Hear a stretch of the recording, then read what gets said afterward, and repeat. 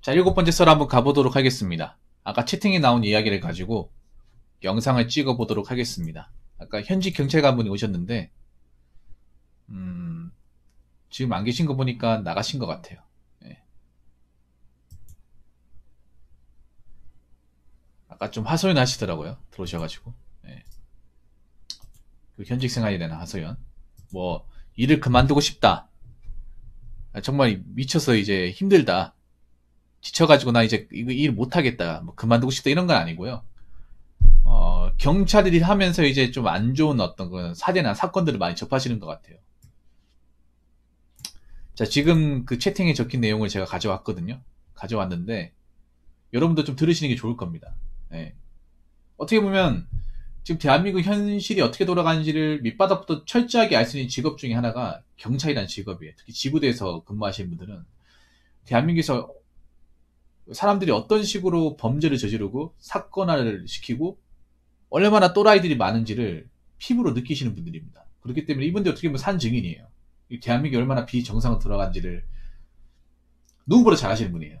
네. 그렇기 때문에 이분들이 얘기한 걸 어떻게 보면 가장 신뢰도 될 것 같습니다. 현실에서 경험하신 분이다 보니까. 아까 어떤 내용을 적었는지 한번 읽어보도록 하겠습니다. 현장에서 만나는 젊은 남녀들, 외모와 헤형심에 찌들어 있어 돈만은 쫓는 것 같습니다. 근데 경찰관으로서 현장에서 정말 인생을 배우는데 저렇게 외모, 돈, 허영심만 쫓는 사람들, 본인들이 지금 누리고 있는 것들이 사라지거나 망가지면 극단적인 선택을 정말 많이 합니다. 안타까워요. 현직 경찰관으로 5년 근무하면서 시신 많이 받고 성 관련 피해 접수 자주 하고 마약도 합니다. 라고 하셨습니다.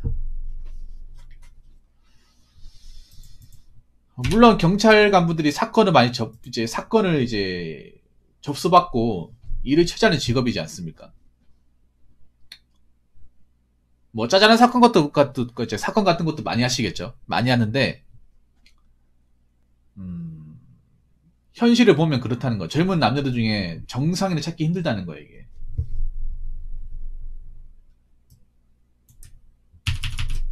자, 이런 내용이 나오죠. 다시 한번 읽어보겠습니다. 현장에서 만나는 젊은 남녀들 외모와 헤형심에 찌들어 있어요. 돈만을 쫓는 것 같습니다. 특히 여기서 주목할 만한 게 외모는 그렇다 치더라도 허영심. 여기서 가장 주목할 만한 단어가 허영심과 돈이에요. 젊은 남녀들이 허영심에 찌들어 있다는 건 뭐냐 하면 지금 푸어 생활. 푸어는 뭔지 아시죠? 카푸어, 맥푸어, 백푸어, 명품 푸어. 돈 없는데도 이제 자기 어떤 그런 어, 재정적인 상태를 고려하지 않고 막 지르는 거죠. 그런 사람들이 많다는 거죠. 그런 사람들이 많은데 그런 사람들이 사건 사고를 많이 친다는 거겠죠. 그러니까 많이 보는 거겠죠. 물론 정상적으로 사는 사람들도 많이 있습니다. 많이 있는데 그런 사람이 쉽게 눈에 보인다는 거잖아요. 그런 사람들이 이제 본인이 일하시는 뭐 파출소나 지구대에 문을 많이 두들긴다는 거 아니겠습니까? 돈만을 쫓는 것 같다. 뭐 돈을 많이 벌고 싶어 하고,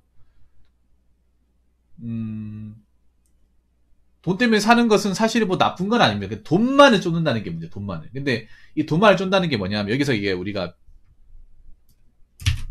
네, 이걸 나눠서 할까? 네, 돈만을 쫓는 것 같다. 이게 뭐 돈 많이 벌고 싶다. 그러니까 좋은데 좋은 회사 들어가서 돈 많이 벌고 복지 받고 싶다. 이게 아니에요. 여기 돈 많이 쫓는다는 거 뭐냐면 음, 돈 되는 거면 합법이든 불법이든 가리지 않고 다 하겠다는 겁니다. 예, 여기 포함되어 있는 겁니다. 생각해봐. 돈만을 쪄주려고 여기 경찰서에 왔다는 것은 이 사람이 뭔가 나쁜 짓을 저질렀다는 거죠. 여러분 돈을 많이 벌고 싶다 하는 거하고 돈만을 쫓는 거하고 다른 겁니다. 다른 거예요. 똑같이 그냥 돈을 뭐 많이 가지고 싶다, 쥐고 싶다 이렇게 표현할 수 있겠지만 이거를 곱씹어 보면 안에 내부 내용을 살펴보면 다른 뜻입니다. 돈을 많이 벌고 싶다는 건 좋은 직업 가지고 싶다는 거죠. 돈만을 쫓는다는 거는 돈을 벌 수 있는 거면 어떤 거든 다 하겠다는 거예요. 범죄가 돼도 하겠다는 겁니다. 그럼 경찰, 경찰서를 들락거렸다는 것은 범죄가 되는 것을 돈을 벌기 위해서 했다는 거예요. 네. 그런 사람이 많다는 겁니다. 아무리 우리가 돈 되는 게 있어도 이게 불법이고 남을 해하는 거고 사회적인 해악을 가하는 거면 하면 안 되는 거잖아요. 근데 안타깝게도 그런 일을 하는 사람이 많다는 겁니다.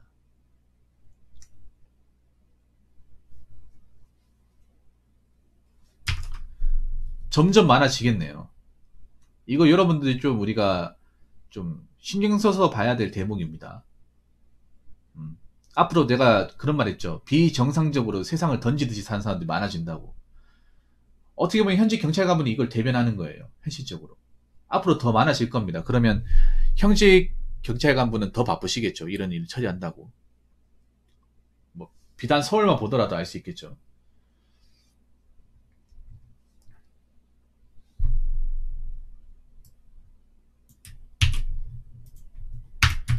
자, 그리고 세 번째. 저렇게 외모, 돈, 호영심만 쫓는 사람들. 본인들이 지금 누리는, 누리고 있는 것들이 사라지거나 망가지면 극단적인 선택을 정말 많이 합니다. 네. 여기서 마지막 단어, 극단적인 선택. 자, 외모, 돈, 허영심만 쫓는 사람들이 자기가 누리고 있는 것들이 사라지거나 망가지면. 근데 생각해봐.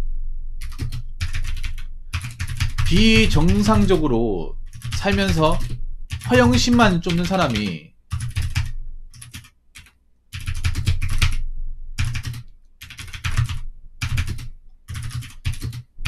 잘 살 리가 없잖아요. 잘 살 리가 없고 이것은 분명히 현실적으로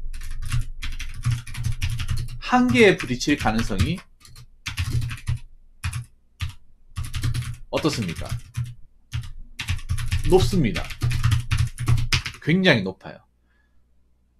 예를 들어 우리가 푸어짓, 아까 카푸어 얘기했죠. 카푸어도 그렇게 하다가 언젠가는 한계치에 봉착하겠죠. 더 이상 차 대출금을 갚지 못한다거나 아니면 더 이상 돈 나올 곳이 없다거나 생계의 위협을 받으면 못하겠죠. 아니면 돈을 흥청만데 쓰다가 정말 자기가 이제 돈 관리 못해가 나이 들어서 일 못하면 정말 생활하는데 지장을 겪겠죠. 아니 외모 하나만 바라보다가 나이 들어서 이제 결혼 못하고 가진 것도 없어가지고 쭈글쭈글해지면 사는 게 정말 힘들다는 거겠죠. 이게 현실적으로 증명이 된다는 거예요. 제가 방송에 솔로 눈에 얘기했던 게 실제 이분 경찰관이 경험하면서 이런 사례를 굉장히 많이 본다는 거예요. 제가 빈말한 게 아니라는 거예요. 빈말하는 게.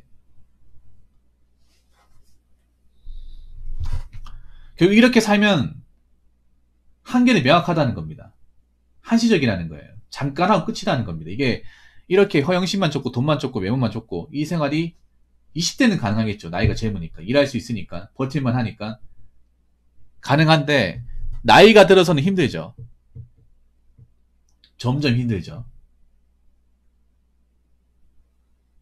그리고 말이 지금 누리고 있다고 하는 건데 사실 누리고 있는 게 아니죠. 일시적으로 가지고 있는 거죠. 그리고 저런 것들은 신기루 같은 것이기 때문에 반드시 사라지거나 망가집니다. 명품 자동차? 뭐 내가 대출받아 살 수 있겠죠. 근데 그 차를 내가 대출금을 갚지 못하면 언제든지 남의 것이 될 수 있고 빚쟁이가 될 수 있죠. 지금 뭐 영, 연극이나 비투한 사람들, 특히 뭐 비투하시는 분들은 이미 망가졌죠. 빚내가지고 이미 수익을 못 보고 있고, 원금도 다 까먹고 있는 상황이니까, 갚을 여력이 없잖아요. 이미 망가졌습니다. 근데 그럼에도 불구하고 그런 사례가 계속 지속적으로 나옴에도 불구하고 아직까지도 그런 사람들이 많다는 거잖아. 앞으로 점점 증가할 가능성도 크다는 거고. 좀 제 말이 무서운 게 제가 그 전에 여러분들한테 했던 얘기, 들 예상했던 것들이 너무 그대로 따라가고 있는 것 같아서 좀 씁쓸합니다, 이게. 그래도 좀 나아지는 사람도 있겠지라고 생각을 하는데, 쉽게 말해 인생을 던지고, 한방 인생에다가, 뒤를 안 바라보는 사람들이 점점 증가한다는 거예요. 물론 이렇게 얘기한다고 전부 다 그렇게 산다는 건 절대 아닙니다. 열심히 살고 미래를 기약하고 돈을 아껴 쓰면서 음, 열심히 사는 사람도 많이 있는데 반면에 이렇게 인생을 던지는 사람들도 많아지는 거예요. 원래는 극소였단 말이에요. 이런 사람들이 뭐 그렇게 많지 않았습니다. 그러니까 대다수가 이렇다는 건 절대 아닌데 이 비중이 늘어난다는 건 사실입니다. 이렇게 뭔가 인생을 던지고 자기 스, 자기 인생을 미래를 안 보고 스스로 잡아뜨린 사람들이 많다는 게 점점 증가한다는 겁니다. 시사하는 바가 크고 앞으로 점점 늘어난다는 겁니다. 안타깝지만 지금 현지에 계신 경찰 관분들은 이런 사례를 계속 볼 수밖에 없을 것 같아요. 이런 안타까운 사례를. 그래서 제가 항상 얘기하는 게 뭐냐면 그 순간적으로 잘 나가는 것들에 잘 나간다고 착각하지 마라. 어? 저거 뭐 명품 백, 명품 가방, 그리고 외제차, 저거 한순간이다, 한순간. 어? 저거 한시적이다. 저거 함부로 질렀다가는 정말 복구 안 된다. 어? 함부로 비투했다가 복구 안 된다. 영원히 복구 안 될 수 있다. 어떡할 거냐. 그러니까 지금 젊은 친구들이 보면 저 그런 게 많아요. 뭐냐면 이렇게 뭔가 생각 없이 지내는 사람들 보면 뒤가 없어요. 책임을 지겠다는 생각이 없습니다. 아니 아무리 나이가 젊어도 군대 갔다고 이제 법적으로 성인이면 책임을 져야 되는 건 당연한, 당연한 거지 않습니까? 왜냐? 본인 스스로 다 선택한 거잖아, 이게. 누가 하라고 한 것도 아니고, 자기가 스스로 선택을 하고 자기 는 설명을 해서 자동차를 뽑고 한 거잖아요. 그러면, 응당 어떤 결과가 나오든 간에 자기가 반드시 책임을 져야 됩니다. 근데, 어떻게 하고 싶은 건 다 하려고 책임을 안 지려고 해. 책임을 안 지니까 이렇게 되는 거예요, 여러분. 내가 이걸 다 책임져야 된다, 감당해야 된다고 생각했을 때 도무지 답이 안 나오면 하지도 않겠죠, 여러분. 이렇게 살지 않겠죠. 인생이라는 게 20대만 있는 게 아니잖아. 30대, 40대, 50대, 60대, 70대 다 있습니다. 어차피 우리가 시간 지나면 나이 들고 힘 없어지고 하는 건 당연한 거예요. 인생 20대만 있는 게 아니야. 20대 때 오히려 젊을 때 체력이 좋을 때 돈 되는 거 해보고 그리고 돈 벌 수 있을 때 많이 모아놔야 돼요. 사실 나는 지금 20대 친구들이 외제차 뽑고 다니는 거 비싼 옷 입고 다니는 거 부럽지 않습니다. 그만큼 자기가 버는 돈을 쓰는 거잖아. 여러분 뭐, 뭐 시내 같은 데 가면 뭐 비싼 차 몰고 그 사람이 좋은 옷 입고 있다고 여러분하고 또, 뭐 다를 것 같습니다. 똑같습니다. 똑같은데 똑같은 월급 받는데 그 사람들은 거기에 돈을 쓰는 거야. 돈을 쓰기 때문에 통장 잔고가 없는 거죠. 아니면 이미 마통을 뚫었다거나. 뭐 그렇게 살다가 이제 금전적으로 힘들어지고 어 자기가 이제 돈 빌린 거 이제 감당 못하면 그때부터 이제 꼬꾸라지는 거죠. 겉으로 멀쩡한지 모르겠지만 그거 스스로 해결 못하면 점점 가라앉는 거죠. 앞으로 가라앉는 사람들이 점점 생겨날 가능성이 높습니다. 부디 여러분들은 그런 상황에 직면하지 마시고 현재 번호는 관리 잘 하시고 절대 이딴 거 쫓지 마세요. 남자들도 자꾸 외모 보지 마, 여자의 외모. 외모 보지 말라니까? 여자분들 중에 뭐 예쁘고 외모 뭐 괜찮고, 그리고 이제 능력이 좋은 사람도 있겠지만, 외모 껍데기 그냥 원툴인 사람도 있어. 그런 사람 데리고 가서 뭐 하려고 그래, 여러분? 그런 사람 사귀어서 뭐 하려고 그래? 외모 말고는 아무것도 없는 사람. 외모라는 게 나이가 먹으면 그 가치가 뭐 계속 이제 유지가 되는 것도 아니잖아요. 역변한 사람도 있는데. 어, 돈도 정상적으로 벌어야 될 거 아니에요. 자꾸 왜 불법적인 방식으로 돈 벌려고 합니까? 그렇게 하다 인생 꼬꾸라지면 본인이 감당할 수 있습니까? 허영심 같은 것도, 어? 없는 사람이 허영심 쫓으면 진짜 골로 갑니다. 자빠지면 끝이란 말이야. 오히려 있는 사람이 허영심을 쫓는 게 아니라 없는 사람 허영심을 더 많이 쫓아요. 있는 사람이 하는 거 허영심이 아니죠. 이미 충분한 그릇과 능력이 되니까. 근데 허영심이라는 말에 붙은 게 뭐냐 하면 없는 사람이 부리니까 허영심이 되는 거예요. 없는 사람이.